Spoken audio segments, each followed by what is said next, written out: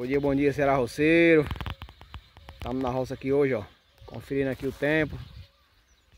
Previsão de muita chuva hoje. Aqui pro interior do Ceará. Olha só que legal aqui, onde as garças encontraram esse, esse lugarzinho para elas. Daqui a pouco vai cair água. Estamos aí na expectativa. Abraço.